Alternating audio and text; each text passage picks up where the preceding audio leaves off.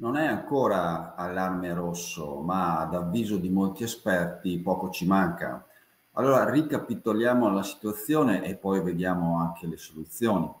Negli ultimi vent'anni il gas è rimasto attorno ai 20 euro a megawattora e vi faccio vedere questo grafico appunto che prende in considerazione i prezzi dal 2000 al 2022 e potete vedere che appunto la media è di 20 euro a megawattora.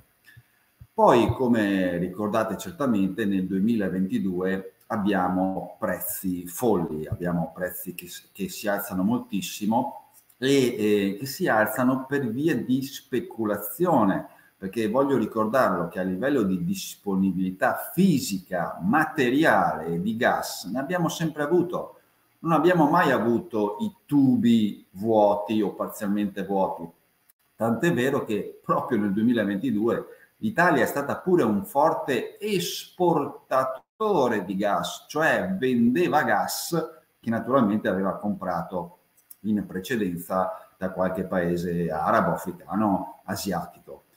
Ecco, eh, allora eh, fine 2022 e 2023 il prezzo ricomincia a calare e ve lo faccio vedere in quest'altro grafico grafico, giusto il tempo di arrivarci e di cambiare diapositiva.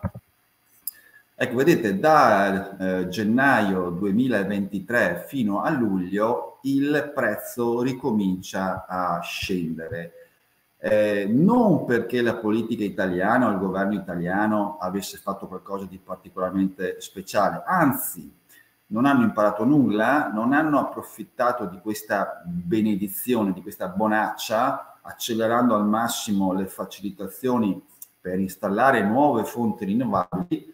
Tutto è rimasto praticamente come sempre ed ora l'inverno è alle porte, ma soprattutto, come descritto da questo articolo del Sole 24 Ore, siamo ehm, in, a forte rischio. Vi faccio vedere prima la salita, eh, anzi il mantenimento del prezzo nel 2023, prezzo del gas che fino a un mese fa era tra i 30 e i 40 euro a megawattora, come potete vedere appunto in questa eh, diapositiva, ma ora fronteggiamo un rischio approvvigionamento per l'80% del gas italiano.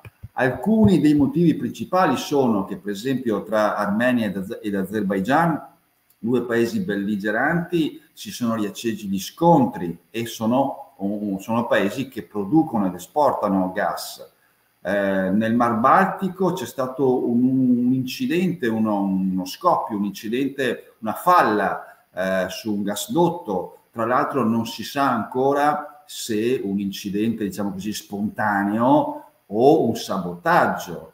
E ricordiamo invece che l'anno scorso, ve lo ricorderete, a settembre 2022 c'erano state le due esplosioni in due gasdotti del nord Europa. Poi c'è la vicenda Israele e Palestina, con l'Israele che ha ridotto le esportazioni e questo probabilmente ricadrà anche sul, sull'Europa per un, effetto, per un effetto domino. E comunque Israele tendenzialmente si sta tenendo sempre di più il gas che produce per i propri consumi interni o al massimo per approvvigionare i paesi locali.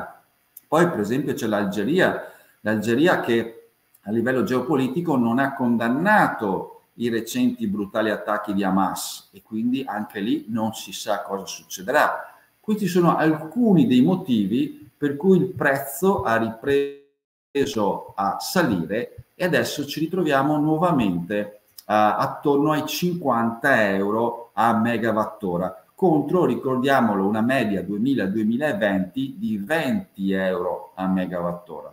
Ora ricordiamoci la cosa essenziale, che il gas non serve solo direttamente, proprio come forma gas alle fabbriche che sono nel settore carta, vetro, ceramica, acciaio, cemento, eccetera, ma serve anche per produrre elettricità. In Italia circa la metà dell'elettricità viene prodotta nelle grandi centrali appunto a gas. Per cui se si alza il prezzo del gas, si alza anche quello dell'elettricità. E di fatti è quello che è successo. Ma vediamo anche qui lo storico dei prezzi. Eh, come vedete dal 2000 al, dal 2004 al 2020 il prezzo medio dell'elettricità era 50-60 euro a megawattora. Invece cosa è successo eh, nelle ultime eh, settimane? Che siamo tornati a 150 euro a megawattora. Dopo che il prezzo per tutto il 2023 si era un pochino aggiustato sui 110, 100, 110, 120 euro a megawattora, adesso con l'arrivo dell'inverno e con queste ulteriori tensioni geopolitiche siamo tornati nuovamente a sfondare quota 150 e stiamo viaggiando attorno a quota 150 euro a megawattora, quindi più del doppio del prezzo eh, che avevamo, a cui eravamo abituati nel ventennio precedente. Ora, come sempre, il futuro è nelle mani dei due grandi attori, politica e cittadini. La politica ovviamente può fare molto, noi del Movimento 5 Stelle abbiamo indicato da sempre nelle rinnovabili e nell'efficienza energetica la soluzione strutturale, quindi per abbassare strutturalmente i costi energetici mentre a livello mondiale la politica deve agire su quello che è lo scandalo degli scandali, cioè quei 7 mila miliardi di euro di sussidi annuali alle fonti fossili. Sussidi annuali, cioè significa circa 16-17 miliardi di euro al giorno di aiuti pubblici, aiuti pubblici a compagnie private come sono quelle delle fonti fossili.